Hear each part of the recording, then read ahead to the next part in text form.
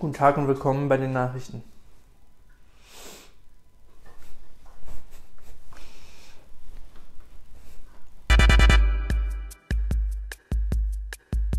Was? Ah, du hast alles hier hingestellt. Wow. Wow. Wow. Wow. Oh, Kaya, kannst du hier bleiben? ich weiß nicht, ob man das hört, aber unser Hund rennt die ganze Zeit von dem Teppich hier zu dem Teppich da, weil sie ihr Ding gerne auf einem Teppich kaut, aber gerne bei uns ist und sich gerade nicht entscheiden kann. Ich will einen Stuhl. Hallo, wir backen heute und haben uns dafür einen heißen Kakao gemacht. Der nicht mehr heiß ist. Du musst jetzt sagen mit Schuss. Mit Schuss! Vanessa, was backen wir heute? Wir backen heute Vanillekipferl. Hast du schon mal Vanillekipferl gemacht? Nein, noch nie. Heißt das so? Das klingt Ja. gerade richtig komisch. Van Vanillekipferl. Vanille, Vanissel. Weißt du, was geil ist? Was denn? Der wilde Kerle Soundtrack. Wieso gehörst du zu den anderen? Meint er damit, wieso gehörst du zu den Mädels oder? Nein, sie war doch bei Gonzo. Oh, Gonzo Gonzales war aber schon heißer als ähm, Leon. Mokaya. Wieso verhältst du dich so anders? Was suche ich? Vanillekipferl-Rezept. Vanillekipferl. Die Zutaten für den Teig gut miteinander verkneten, anschließend in die Folie gewickelt, 30 Minuten in den Kühlschrank legen. Wir müssen das 30 Minuten in den Kühlschrank Wusste legen. ich auch nicht. Das ist nervig. Das ist voll nervig. Wir müssen ja erstmal hier. Du musst ihn auch gleich kneten mit deinen Händen. ja, hab ich, ich habe meine Hände gewaschen. Ja, ich nicht. Mach mal. Nee, ich knete den ja auch nicht. Ja, okay. Warum steht mein Alkohol da? Meine heiße Schokolade. Darf ich dich damit spangen? Nein!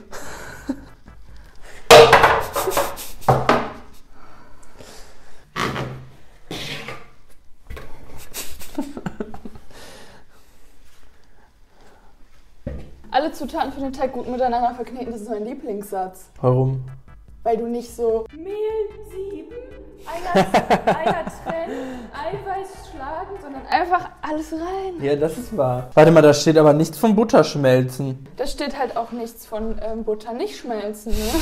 Okay, aber eigentlich wird da sonst warme Butter stehen. Ne? Ja, ich glaube auch. 250 Gramm Mehl, Soll ich das reintun? weiß ich nicht. Kannst du das? 200. Hör auf, hör auf. Noch 5 Gramm. Okay. Ja, noch sechs, oder? Ja.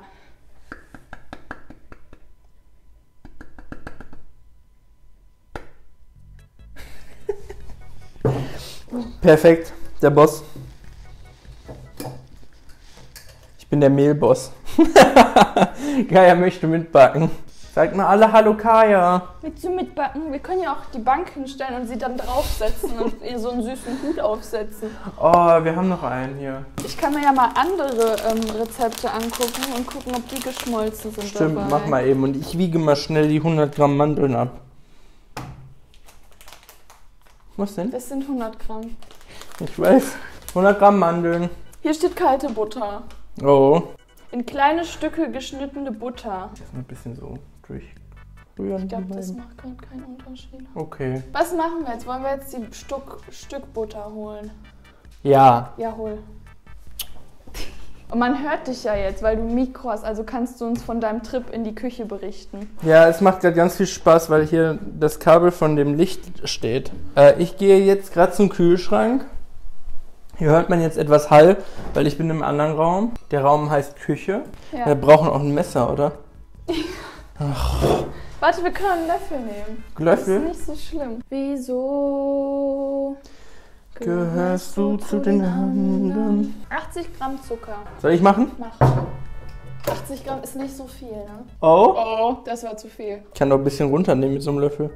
Diese 4 Gramm Zucker, die werden das, glaube ich, jetzt nicht kaputt Aber das macht's ungesünder. Zwei Packungen Vanillezucker. Oh, das kann ich, das kann ich.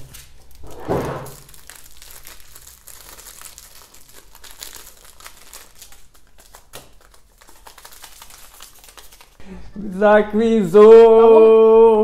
Warum heißt Butter eigentlich immer Ma deutsche Markenbutter? Ist das der offizielle Name für Butter in Deutschland? Kann ja nicht einfach Butter draufstehen? Ich bin übrigens Streamer. Melman Bing auf Twitch. Bald Melman Bing. Verkackt mit dem Unterstrich? Wolltest du eigentlich gar keinen machen? Ja, also ich habe den, ich hab den Twitch-Account zuerst gemacht, dann habe ich alle anderen Accounts gemacht und dachte mir, hm, Melman ohne Unterstrich ist irgendwie besser. Mann, Butter ist so ekelig. Ich habe mir übrigens auch die Hände gewaschen. Ha! Oh! Punktlandung, Punktlandung. Muss ich das jetzt durchmanschen? Ja. Einfach mit den Händen? Ja, nee, Okay. mit deiner Nase. Weißt du, sitzen ist schon angenehmer als stehen. Ich kann ja einfach mal Flo kommentieren, obwohl ich ihn nicht sehe. Flo beginnt gerade den Teig nur mit der linken Hand zu kneten, weil die rechte Hand ihm auf einmal etwas wehtut. Und er fragt sich, warum tut meine rechte Hand weh? Und auf einmal ist der Schmerz wieder weg und er kann beide Hände benutzen. Vanessa, ich, ich brauch dich. Ich glaube, ich liebe dich. Wieso? Oh Mann, ich hasse Klarsichtfolie. Frischhaltefolie. Ich sag immer Klarsichtfolie dazu. Warum ist Klarsichtfolie falsch? Ist Klarsichtfolie nicht das, wo man so Zettel reintut? Nee, das ist Klarsichtfolie. Meine Mama hat uns letztens Klöße mitgegeben. Mit Soße. Und ich war ähm, mit meiner Mama unterwegs und Flo war alleine hier mit den Klößen. Und hat sich die dann zu Mittag gemacht. Und Klöße muss man halt kochen, bevor man sie isst. Und Flo hat, hat die einfach in die Mikrowelle getan mit der Soße, weil er dachte, Ich dachte, die wären schon gekocht Und er hat einfach fünf gegessen. Sie ist gerade fast eingeschlafen im Sitzen. Ist das so langweilig, was ich erzähle? Soll ich mehr so reden? Vielleicht schläfst du dann eines Tages mal am Sitzen ein. Bist du so müde?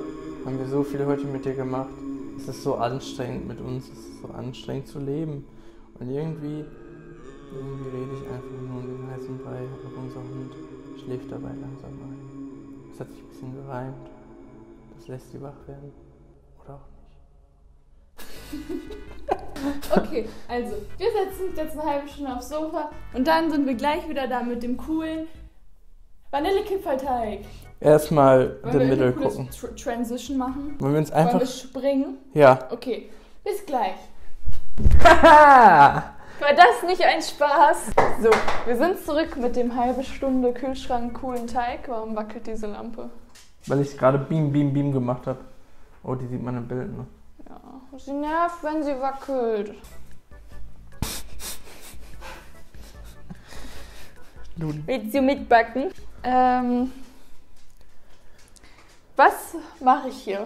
du wolltest nach dem Rezept schauen Ah. wahrscheinlich. Den Kipferlteig zu rollen mit einem ungefähren Durchmesser von 4 cm formen. Ah. Ich habe den Satz erst nicht Soll ich das auf Rolle holen? Nein, das soll ja nicht flach sein. Das kannst du ja mit deinen Händen rollen. Ah. Das ist das. das. Da ist einfach so ein Fleck Butter. Also jeder macht jetzt damit, was er will. Nein. Du machst das, was im Rezept steht. Und du? Auch. Ich schwöre, der war noch nicht durchgeknetet. Ja, ist überall Butter, Florian. Und dann sollst du eine Rolle mit einem Durchmesser von 4 cm formen. Okay, Das sind 4 cm. so. Das sind zwei. Oh, dieser Tisch ist zu niedrig. Deswegen meinte Ich ich, squatte jetzt. ich knie. Das ist, du machst so und dann ist das ein Vanillekipferl. Mann, alle Menschen, die schon regelmäßig Vanillekipferl machen, denken sich jetzt so, oh, ihr seid ja, seid ihr, seid so dumm. Ihr müsst das so und so machen. Habt ihr, habt ihr überhaupt mal gelebt? Nein, Tatjana, haben wir noch nicht. Das Also- ist jetzt zu viel wieder, ne? Ah, ich hol jetzt eine näher. Mein Kopf juckt, aber meine Hände sind schmantig. Kratz. So machen wir in der Manufaktur die perfekten Kipferl. Da ist schon genug Platz, ja? Ja, weiß ich Meine ja sehen nicht. so anders aus wie deine. Als oh, als. Oh mein Gott. Hast du gerade wirklich. Das ist zu nah. als was? Wir haben wieder eine Hilfe. Möchtest du?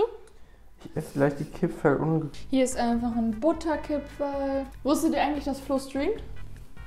Wusstet ihr das? Schaut vorbei. Twitch. Bing auf Twitch. Jeden Donnerstag und Sonntag Und auch und Dienstags. auch dienstags. Boah, unsere, die sehen so unterschiedlich aus. In mindestens einem Vanillekipferl wird ein Haar von Kaya drin sein.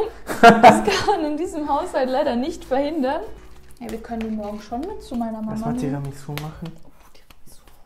Ich hab keine Lust mehr.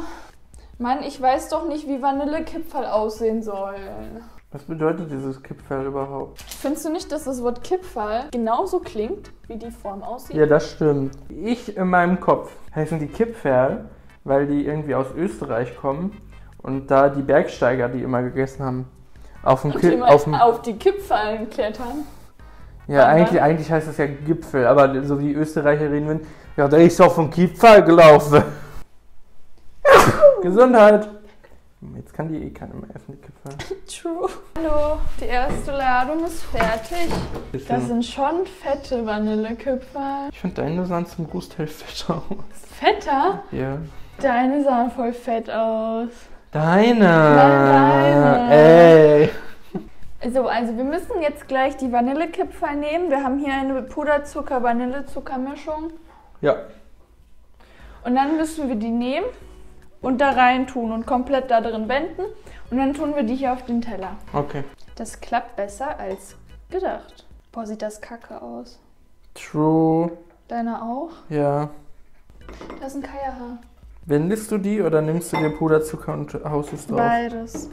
Sind Mut. beides sehr gute Techniken. Mit beiden kommt man voran. Ich bin so gespannt, ey.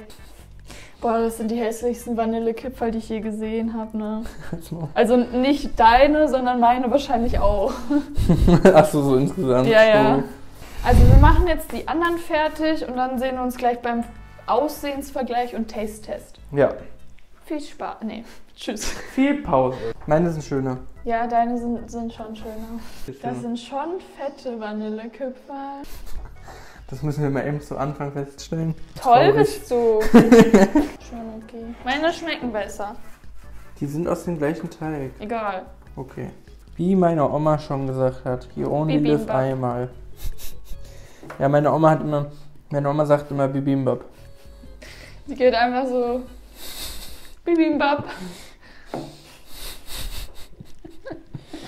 Oh Mann, warum sehen meine denn so kacke aus? Das sind gar keine Kipferl, das sind einfach Flatschen. Das sind voll die Plätzchen Ich habe so. Vanilleflatschen gemacht. Flatschen ein Wort? Kennt das jeder? Flatschen. Das? Ich kenne das. Also zumindest in, in, in unserer Gegend. Jetzt könnt ihr mal googeln, in was für einer Gegend man Flatschen sagt. Dann wisst ihr, woher wir kommen. Nämlich aus Deutschland. Als ob ich nicht irgendwo schon mal gesagt habe, dass wir im Sauerland wohnen. Hallo, hier liegt die Adresse. Weil drauf. Sauerland ist nämlich nur ein, ein Dorf. Ich habe die schöneren. Ja, herzlichen Glückwunsch. Mann.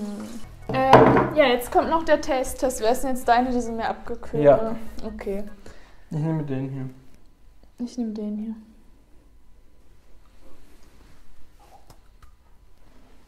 Da ist zu viel Zucker dran.